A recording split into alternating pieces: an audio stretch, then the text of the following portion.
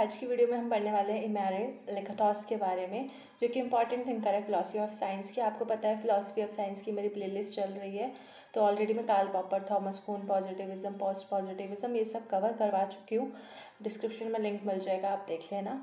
तो वो सारे थिंकर्स आप कवर करके जाना, क्योंकि ये कुछ ऐसे थिंकर्स हैं जो आजकल पूछे जा रहे हैं और हम इन्हें इग्नोर कर देते हैं। For example Emile Durkheim also so Emile अब ये आज हम पढ़ेंगे एमेरे लेखातोस के बारे में और इसके बाद वाली वीडियो में हम पढ़ने वाले हैं पॉल फेरेबत के बारे में। तो ऑलमोस्ट हमारे सारे थिंकर्स फिर ख़त्म हो जाएँगे। तो शुरू करते हैं आज का लेक्चर जिसमें मैं आपको थोड़ा सा डिटेल में इनके बारे में बता दूँगी और डिटेल भी पढ़ेंगे, लेकिन टू द पॉइंट भी पढ़ेंगे कि कहाँ से क्वेश्चन आते हैं। अगर क्वेश्चन आ जाए तो हमारा गलत नहीं होना चाहिए। So let's begin our video and start करते हैं आज का lecture and also watch the video till the end क्योंकि मैं पी वाई क्यूज़ भी कराऊँगी और बीच बीच में जो इंपॉर्टेंट टॉपिक्स होंगे जहाँ से क्वेश्चन बनते हैं वो भी कराती जाऊँगी। तो कोई भी पार्ट वीडियो का मिस मत करना ठीक है? सो so, स्टार्ट करते हैं आज का वीडियो सो so, सो ये वीडियो स्टार्ट करने से पहले जिन्होंने थॉमस कून और कार्ल पॉपर का वीडियो नहीं देखा है फिलोसफी ऑफ़ साइंस प्लेलिस्ट में आपको मिल जाएगा वो ज़रूर से देख लेना क्योंकि इसमें वो कार्ल पॉपर और थॉमस कून को क्रिटिसाइज करते हैं। तो एमेरा लेकातॉस की थिंकिंग को समझते हैं अब उनका कंसेप्ट समझना भी उतना ही इंपॉर्टेंट है, जितना अकेडमिक पॉइंट ऑफ़ व्यू से हमें क्वेश्चंस देखना। तो पी भी तो देखेंगे बट ये देखते हैं। Science has rationality according to Imre Lakatos कि साइंस जो है काफ़ी रैशनल होती है, और वो चाहते थे कि क्योंकि साइंस जैसे जैसे साइंस प्रोग्रेस कर रहा था साइंस में डेवलपमेंट आ रही थी तो कहीं ना कहीं जो थिंकर्स आ रहे थे, वो उसमें साइंस में रीज़न को क्रिटिसाइज कर रहे थे कि साइंस में कोई रीज़न नहीं है, क्योंकि साइंस को तो फॉल्सिफाई भी किया जा सकता है। अगर साइंस में रीज़न होता लॉजिक होता तो वो फॉल्सिफाई नहीं होती, ऐसा कुछ लोग बोल रहे थे। तो वो इसी एरा में आते हैं पोस्ट कुहान एरा बोलते हैं इनको, जो थॉमस कुन के बाद एरा शुरू हुआ था। तो उस एरा में आते हैं और वो बोलते हैं कि उनका मेन एम होता है हमारे लगातार का, कि रीज़न को रीस्टोर करना in scientific progress and accept science as an approximation to reality और वो बोलते हैं कि हम सबको साइंस को एक रियलिटी के कॉन्टेक्स्ट में एक्सेप्ट करना चाहिए कि जितनी रियलिटी सच है, उतना ही साइंस भी सच है, ठीक है? देन सेकेंड पॉइंट उनका, वो क्रिटिसाइज करते हैं पॉजिटिविस्ट को और कार्ल पॉपर को स्पेशली एंड वो बोलते हैं there is no final verification और फॉल्सिफिकेशन इन साइंस क्योंकि कार्ल पॉपर की आपको पता है थ्योरी ऑफ़ फॉल्सिफिकेशन तभी मैंने बोला कि आप पहले वो वीडियोज़ देख लो। तो थ्योरी ऑफ़ फॉल्सिफिकेशन जो काल पॉपर की थी, उसको कौन क्रिटिसाइज कर रहे हैं एमेरे लेकाथॉस तो इससे पी वाई क्यू आ रखा है और इससे क्वेश्चन भी बहुत अच्छा बन सकता है कि काल पॉपर के थियोरी ऑफ़ फॉल्सिफिकेशन को किसने क्रिटिसाइज किया था? तो किसने क्रिटिसाइज किया था? एमेरे लेकाथॉस ने क्रिटिसाइज किया था। देन साइंटिस्ट कैन ऑल्सो भी रॉन्ग वो बोलते हैं कि हाँ साइंटिस्ट भी गलत हो सकते हैं, वो भी गलतियाँ कर सकते हैं, लेकिन इसका मतलब ये नहीं है कि आप पूरी की पूरी थ्योरी को ही फॉल्सिफाई कर दो साइंस को ही फॉल्सिफाई कर दो, ठीक है? तो वो इस बात में मानते थे कि हाँ साइंटिस्ट गलत हो सकते हैं, वो भी गलतियाँ कर सकते हैं। तो ये भी उनकी मैंने थिंकिंग समझ, समझाने के लिए आपको ये लाइन लिख दी।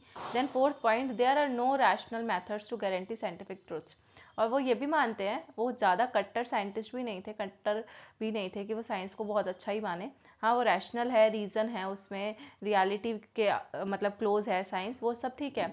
पर वो बोलते थे कि there are no rational methods to guarantee scientific truths कि हमें साइंटिफिक ट्रुथ का पता लगाना है, अगर हमें पूरी सच्चाई तक पहुँचना है ट्रुथ फाइनल ट्रुथ तक पहुँचना है तो उसके लिए कोई एक रैशनल मेथड नहीं हो सकता। हमें बहुत तीन बहुत सारे मेथड्स फॉलो करने होंगे, तब जाके हम कहीं साइंटिफिक ट्रुथ तक पहुँच पाते हैं। तो एक कोई रैशनल मेथड नहीं होता, ठीक है? या कोई भी रैशनल मेथड नहीं होता। So next he introduce the concept of research program ये इंपॉर्टेंट है very very important P Y Q आ रखा है कि रिसर्च प्रोग्राम का कॉन्सेप्ट किसका है? तो किसका है? इमेरे लेकातोस का है। और उन्होंने रिसर्च प्रोग्राम का ये जो कॉन्सेप्ट था, वो किसके अगेंस्ट में दिया था।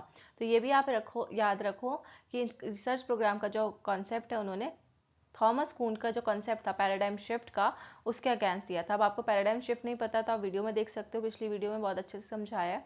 ज़्यादा लंबी वीडियो भी नहीं है आई गेस नौ दस मिनट का ही वीडियो है। तो थॉमस कून का पैराडाइम शिफ्ट का कॉन्सेप्ट जो था, उसके अगेंस्ट में इमेरे लेकतौस लेकर आते हैं अपना अपना कॉन्सेप्ट रिसर्च प्रोग्राम का। तो रिसर्च प्रोग्राम रिसर्च प्रोग्राम दो तीन बारी बोलो मन में और याद रखो कि एमेरे लेकतौस का है। He argued that science is only govern by and only one paradigm तो वो बोलते हैं, जैसे कि थॉमस कुन बोलते थे ना कि पैराडाइम शिफ्ट आते हैं, एक एरा से हम दूसरे एरा में जाते हैं, ठीक है? तो वो बोलते थे, ऐसा कुछ नहीं होता, एक ही पैराडाइम होता है नॉर्मल साइंटिफिक फ़ेज़ में। जो एक साइंटिफिक फ़ेज़ होता है हमारा, उसमें सिर्फ़ एक ही पैराडाइम होता है। ऐसा नहीं है कि पैराडाइम शिफ्ट आएगा और मल्टीपल पैराडाइम्स इमर्ज होंगे, नहीं। एक ही पैराडाइम होता है तो ये कीवर्ड याद रख लो कि अकॉर्डिंग टू मेरे लिखातौस इससे भी क्वेश्चन बन सकता है, बहुत इंपॉर्टेंट कि कौन एक पैराडाइम की बात करता है। अब आप पैराडाइम वर्ड सुनते ही आप सोचोगे कि अच्छा पैराडाइम की बात हो रही है तो थॉमस कून होगा। पर नहीं, अगर वन पैराडाइम की बात हो रही है कि सिर्फ़ एक ही पैराडाइम होता है जो साइंस को गवर्न करता है तो उसका मतलब वहाँ पे बात हो रही है लेकातौस की ठीक है? Then might be my pronunciation can be wrong so avoid that but lakatos ही बोलते हैं, जहाँ तक मैंने सुना इनको। फिर wild development continue with within a paradigm अब ये थॉमस कून के रिस्पॉन्ड में ही ये बोल रहे हैं कि जैसे जैसे पैराडाइम के साथ डेवलपमेंट बढ़ती जाती है, ठीक है? एक पैराडाइम है। एक एरा है, ठीक है, उसमें डेवलपमेंट कंटिन्यू है। तो उस, जैसे जैसे डेवलपमेंट होगी उस पैराडाइम में, वैसे वैसे सॉरी वैसे वैसे कॉम्पिटिशन भी बढ़ेगा। कंपटीशन किसमें बढ़ेगा? Competition between alternative paradigm also continues ठीक है? तो वो बोलते हैं कि ऑल्टरनेटिव पैराडाइम्स में भी कंपटीशन बढ़ता रहेगा। ऑल्टरनेटिव पैराडाइम मतलब ये एक पैराडाइम है ए पैराडाइम और ये उसके ऑल्टरनेटिव मतलब उसी का सप्लीमेंट्री एक और पैराडाइम है पैराडाइम बी ठीक है? अगर ये नहीं तो हम बी पैराडाइम यूज़ कर सकते हैं मतलब एक ऑल्टरनेटिव ले सकते हैं उसका। तो इनके बीच में आपस में भी तो कॉम्पिटिशन बढ़ेगा ना? तो मैंने पैराडाइम बहुत अच्छे से समझाया, आप थॉमस कुन में देख लेना। देन बात करते हैं next even if different theories are use in research program अब ये बहुत इंपॉर्टेंट कॉन्सेप्ट है मेरे लिकातौस का, जो कि वो रिसर्च प्रोग्राम में दो कंपोनेंट्स की बात करते हैं। ठीक है? हार्ड कोर की और प्रोटेक्शन बेल्ट की। तो अभी हम पढ़ेंगे। तो even if different theories are use in research program अगर एक रिसर्च प्रोग्राम में जो कि उनका फ़ेमस कॉन्सेप्ट है, और ये कौन सी बुक में उन्होंने दिया था वो भी मैं बताऊँगी। तो अगर डिफरेंट डिफरेंट थ्योरीज हैं, और वो हम रिसर्च कोई भी हम रिसर्च कर रहे हैं, एक रिसर्च प्रोग्राम में हम डिफरेंट डिफरेंट थ्योरीज का यूज़ कर रहे हैं this theories have common and unchangeable core तो उस केस में क्या होता है? ये जो थ्योरीज होती हैं रिसर्च प्रोग्राम होता है एक, ठीक है? उसमें एक कोर होता है, एक प्रोटेक्शन बेल्ट होती है, ऐसा। ठीक है? जैसे कोर है, इसके आसपास एक प्रोटेक्शन बेल्ट है, ऐसे। ठीक है? तो ये जो कोर है, वो कभी भी चेंज नहीं होगा। अगर आपको ये एक पूरी थ्योरी है, मान लो, ठीक है? ये पूरी थ्योरी है, उस थ्योरी का थ्योरी को ही वो रिसर्च प्रोग्राम बोल रहे हैं। तो ये कोर है। कोर में कभी भी चेंज नहीं आएगा। जो प्रोटेक्टिव बेल्ट होगी, इसके आसपास की, उसमें आप चेंजेस ला सकते हो, पर कोर में कोई चेंज नहीं आता। क्योंकि जो कोर होता है, ये कॉमन अनचेंजेबल कोर होता है। ठीक है? ये जो थ्योरीज होती है कॉमन थ्योरी से मिलकर बना होता है।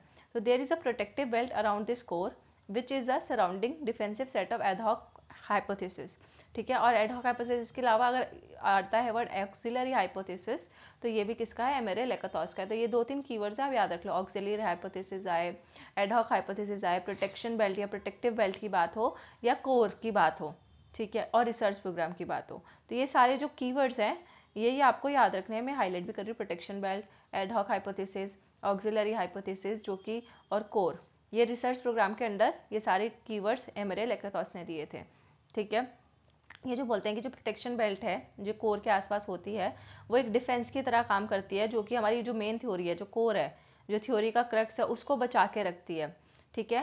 और इसलिए हम इसको एडहॉक हाइपोथेसिस बोलते हैं। एडहॉक हाइपोथेसिस क्यों? एडहॉक मतलब क्या होता है? टेम्परेरी राइट टेम्परेरी होता है एडहॉक मतलब तो ये ऑक्सिलरी हाइपोथेसिस भी बोलते हैं और एडहॉक हाइपोथेसिस भी। कि जो प्रोटेक्शन बेल्ट है वो टेम्प्रेरी है मतलब कि वो चेंज हो सकती है विद टाइम तो जैसे यहाँ पे इसको और अच्छे से एक्सप्लेन किया हुआ है, मैंने लिखा है यहाँ पे this core is preserve during research तो हम इस, जब भी हम कोई रिसर्च कर रहे होते हैं तो हमारा जो मेन टॉपिक है, जिस पे हम रिसर्च कर रहे हैं, उसको तो हम नहीं चेंज करेंगे ना, वो तो वैसे का वैसे ही रहेगा तो आप मान लो वो कोर है, ठीक है? लेकिन उसके आसपास जो प्रोटेक्शन बेल्ट हमने बनाई है और चीज़ें जो हमने डायमेंशन जोड़े उस टॉपिक के अराउंड सब टॉपिक्स वगैरह तो वो हमारी हो गई एक तरीके से प्रोटेक्शन बेल्ट जिसको हम चेंज कर सकते हैं टू सॉल्व न्यू प्रॉब्लम्स कोई हमारे पास नई प्रॉब्लम आ गई, उसको सॉल्व करने के लिए हमें उसको चीज़ को क्या करना पड़ेगा? मॉडिफाई करना पड़ेगा. अब बात करते हैं next when theories are inaccurate तो अब ये बहुत वेरी वेरी इंपॉर्टेंट ये मेरे लेके तो उसकी थिंकिंग को समझने के लिए ये बहुत इंपॉर्टेंट पॉइंट है. वो कहते हैं कि अगर कोई थ्योरी ये काल पॉपर के अगेंस्ट में एक तरीके से वो ये पॉइंट बोल रहे हैं। ठीक है? काल पॉपर की जो थ्योरी ऑफ़ फॉल्सिफिकेशन थी, उसके के अगेंस्ट ही बोलते हैं कि थ्योरी से अगर कोई मान लो कोई थ्योरी गलत साबित हो गई फॉल्सिफाई हो गई इनएक्यूरेट निकली तो इसका मतलब ये नहीं है कि आप उसको पूरी की, पूरी तरीके से डिस्कार्ड कर दो। ये बोलते कि अच्छा ये थ्योरी तो गलत साबित हो गई, चलो इसको पूरी की पूरी थ्योरी खत्म कर दो, उसको हमेशा के लिए वहाँ से हटा दो। ऐसा नहीं होना चाहिए। वो बोलते हैं थ्योरी को डिस्कार्ड करने से मतलब थ्योरी को ख़त्म करने से अच्छा है कि जो चीज़ आपको थ्योरी में गलत लगी, जो चीज़ फॉल्सिफाई हुई है ठीक है? तो उसकी, उसमें आप क्या करो, उसमें आप चेंजेस ले आओ। उसमें आप मॉडिफिकेशन कर दो, उसमें आप करेक्शन कर दो। पूरी थ्योरी को ख़त्म करने से अच्छा है, जो उसमें गलती हुई है, उसको आप करेक्ट कर दो। ठीक है? तो ऐसे अगर वो बोलते हैं कि अगर हम सारी थ्योरीज क्योंकि कोई भी थ्योरी तो एक्यूरेट नहीं होती, अगर हम सारी थ्योरीज को एक एक करके फॉल्सिफाई करते रहेंगे और डिस्कार्ड करते रहेंगे तो ऐसे तो कोई भी साइंस बचेगा ही नहीं। साइंस जैसी कोई चीज़ बचेगी ही नहीं कि अगर सारी थ्योरीज ही डिस्कार्ड हो गई according to Imre Lakatos so so, इसलिए आपको ये पॉइंट समझ आ गया होगा कि हमें फॉल्सिफाई नहीं करना। थ्योरी को अगर हमें पूरी तरीके से डिस्कार्ड नहीं करना उसकी जगह अगर कोई थ्योरी फॉल्सिफाई हो गई है या इनएक्यूरेट साबित हो गई है तो आप उसमें करेक्शन कर दो। ठीक है? अदरवाइज़ जो साइंस का अस्तित्व है वो ख़त्म हो जाएगा। और ये इसके अलावा ये जो पी वाई क्यू या एग्ज़ाम पॉइंट ऑफ़ व्यू से इंपॉर्टेंट है, वो है मॉब साइकोलॉजी तो अगर पूछा जाए कि किसने बोला था कि साइंस जो है रिड्यूस हो चुकी है to the mob psychology mob psychology मतलब क्या? जो सब बोलते हैं, वही साइंस भी बोलने लग गई है. कि मॉब मतलब क्या होता है ना मासेस तो जो मासिस की साइकोलॉजी है, अब वो मासिस से हट के नहीं सोच रही है. साइंस को हमने जो मासिस ने बोल दिया, जैसे बहुत सारे लोग सोचते थे कि अर्थ जो है, वो फ्लैट है. ठीक है, अब अर्थ फ्लैट है और बहुत सारे लोगों ने ऐसा सोच लिया. उसके मॉब ने मॉब ने मतलब पूरी मास की साइकोलॉजी में ये पॉइंट था कि अर्थ फ्लैट है। तो जो साइंटिस्ट थे, उन्होंने भी एक पॉइंट पे एक ऐसी थ्योरी बना दी थी कि हाँ भाई अर्थ फ्लैट है। तो हमने साइंस को किससे रिड्यूस कर दिया? मॉब साइकोलॉजी से। तो अब ये एग्ज़ाम्पल जो था मैंने दिया आपको मेरे लेखतौस ने नहीं दिया, मैंने बस आपको समझाने के लिए पॉइंट बता दिया। एक एग्ज़ाम्पल देके। तो मॉब साइकोलॉजी जो है साइंस में रिड्यूस हो जो साइंस है वो मॉब साइकोलॉजी तक सीमित हो चुकी है।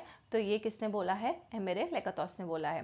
प्लस जैसे मैंने आपको बताया, वो थॉमस कून और कार्ल पापर को क्रिटिसाइज करते हैं बहुत चीज़ों पे। पैराडाइम शिफ्ट लेकर कार्ल पापर की थ्योरी ऑफ़ फॉल्सिफिकेशन पे। पर जो थॉमस कून है, उसको एक चीज़ से वो अप्रिशिएट भी करते हैं। वो क्या चीज़ है? थॉमस कून का जो हिस्ट्री ऑफ़ साइंस का कॉन्सेप्ट था, उसको लेकर वो, उसको अप्रिशिएट करते हैं। वो बोलते हैं कि हाँ जो थॉमस कून का जो हिस्ट्री ऑफ़ साइंस का कॉन्सेप्ट है, वो इंपॉर्टेंट है। ठीक है?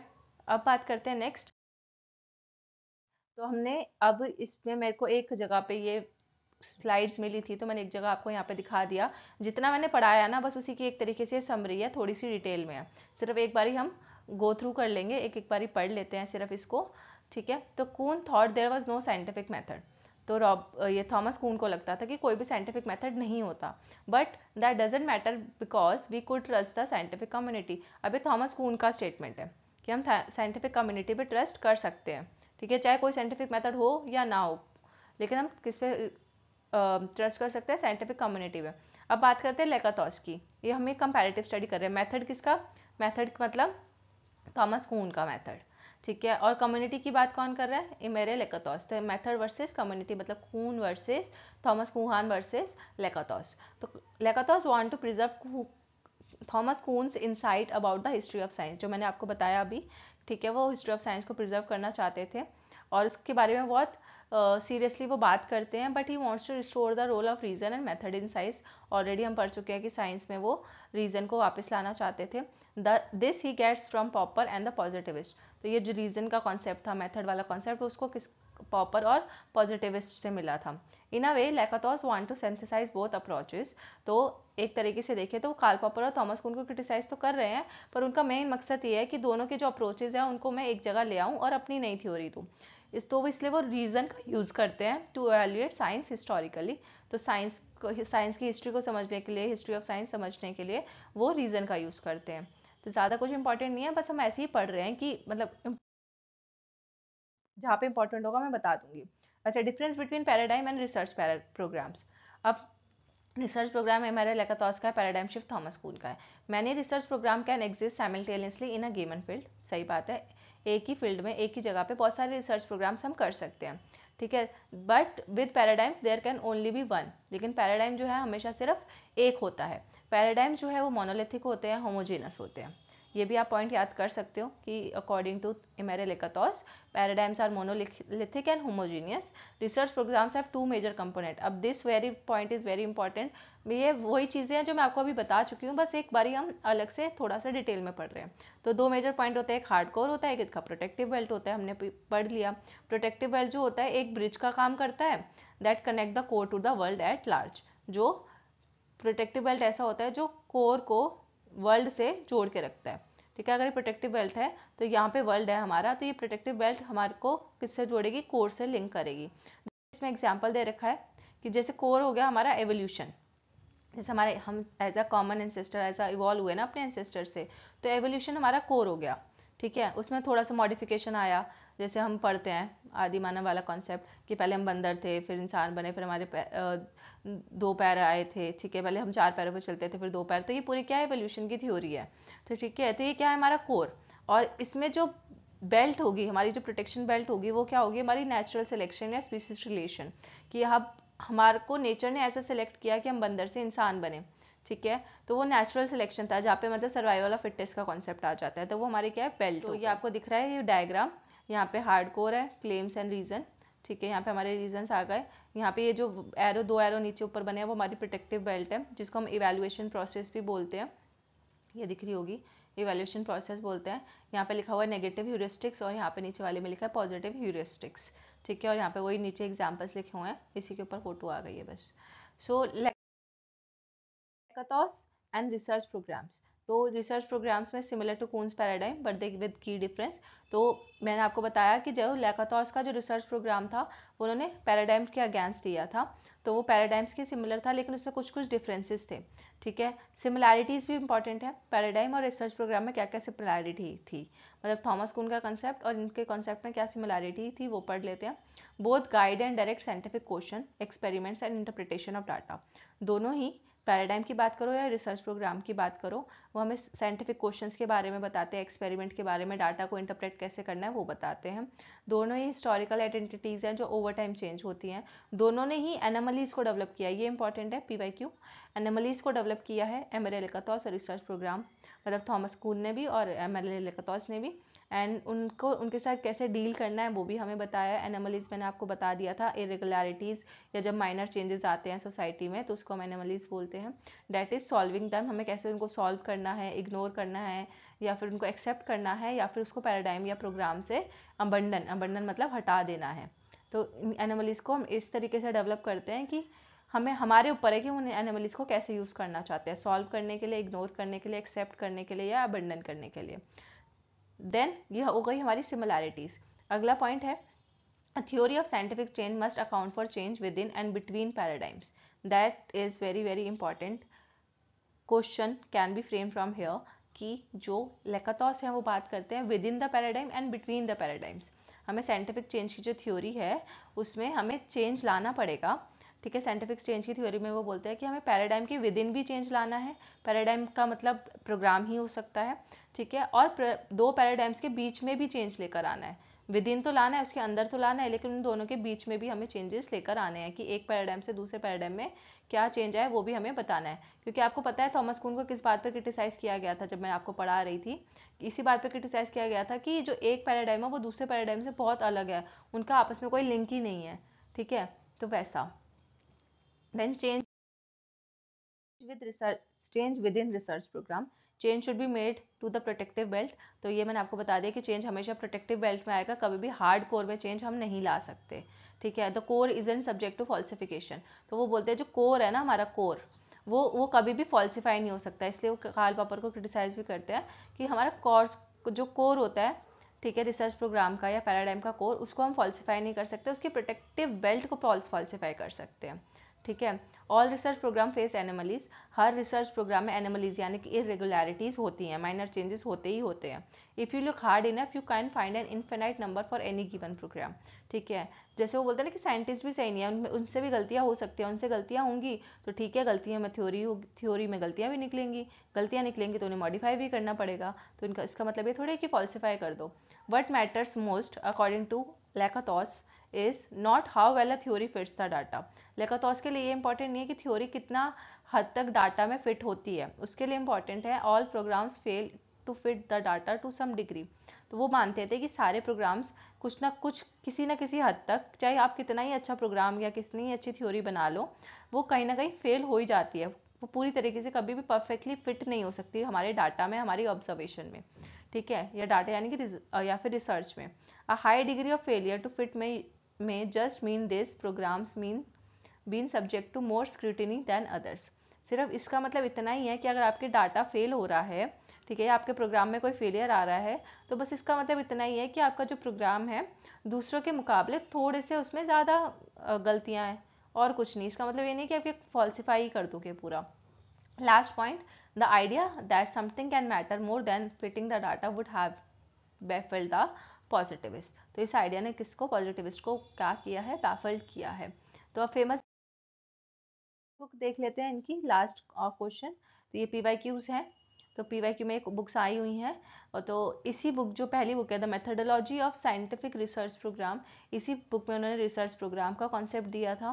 तो इसके नाम में ही रिसर्च प्रोग्राम आ रहा है। तो अगर आपको याद हो कि रिसर्च प्रोग्राम का कॉन्सेप्ट एम ए का है तो जिस बुक में रिसर्च प्रोग्राम वर्ड आ रहा हो, जिस बुक में वो भी किसकी होगी एमेरे लेकातॉस की होगी। तो इसका पूरा बुक का नाम क्या the methodology of scientific research program proofs and refutation the logic of mathematical discovery अच्छा मोस्ट ऑफ़ द केसेस में जहाँ पे मैथमेटिकल टर्म आ रहा है किसी बुक में तो वो मेरे लेकातॉस ही मार्क करके आ जाना। इसकी एक और बुक है, उसमें भी इसकी मैथमेटिशियन के ऊपर ही है। क्योंकि जो मेरे लेखातौस थे, वो मैथमेटिशियन थे और कम्युनिस्ट भी थे। तो इसलिए आपको याद रखना, ठीक है? The proofs and refutation proof and refutation criticism and the growth of knowledge भी है मेरे लिखा की criticism and the growth of knowledge तो ये आपके क्वेश्चन हो गए आज के। दूसरा क्वेश्चन देखते हैं। So next question, which of the following philosopher of science was introduced by Kenneth Waltz to international politics? Kenneth Waltz ने IR में किसको इंट्रोड्यूस किया था? फिलोसफी ऑफ़ साइंस से निकाल के। मतलब वो फिलोसफी ऑफ़ साइंस के थिंकर थे, लेकिन कैनेथ वॉल्ट ने उनको आईआर में इंट्रोड्यूस किया था, अपने मतलब वर्क में आईआर में, ये मेरे लेकातौस की बात की थी। तो ये भी आप याद रखना पी वाई क्यू की ठीक है सो आई होप आपको आज का वीडियो अच्छा लगा होगा। मिलते हैं नेक्स्ट वीडियो में।